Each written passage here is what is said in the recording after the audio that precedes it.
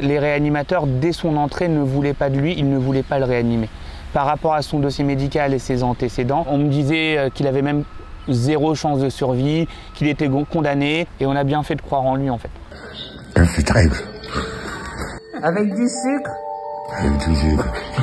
Papa, 7 x 7. 49.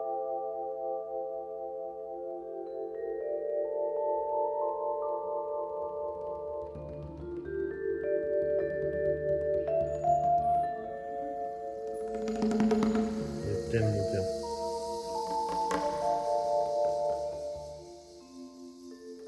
Que je t'aime, que je t'aime, que je t'aime. Si je n'étais pas intervenu à ce moment-là, mon père serait mort.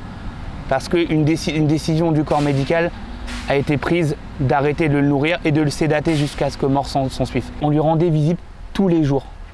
Pendant ces quatre mois de coma, à tour de rôle, mon frère, ma mère, moi, on s'organisait pour essayer de le stimuler un maximum. Papa, est-ce que t'as mal quelque part? Si t'as mal, oui ou non? On subissait une sorte d'euthanasie, sauf que mon père n'avait pas décidé.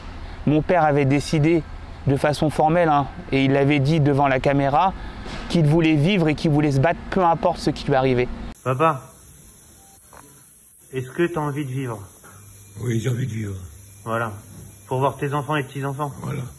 Voilà. Ta femme Et ta femme? T'as envie de voir. Bravo, papa.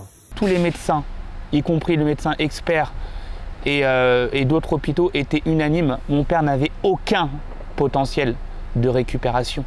Mon père devait rester en état de conscience minimale, devait être un, un légume. Et il nous essayait même de nous faire culpabiliser en fait. En le maintenant en vie, euh, on le faisait souffrir et, euh, et que, et que c'était, c'était, c'était atroce pour lui. 2 fois 2. Oh bébé. Combien? En lançant ces procédures judiciaires, ça nous a permis de gagner du temps. Et ce temps-là a permis à mon père de sortir de ce coma. Quoi qu'il arrive hein, dans le temps et dans le futur, tous ces petits moments de bonheur qu'on a pu partager avec notre père, ben, c'est des moments, des moments incroyables et qui, dans tous les cas, valent la peine d'être vécus. Donc que ce soit un jour, un mois, six mois, un an, dix ans, c'est du bonheur en fait.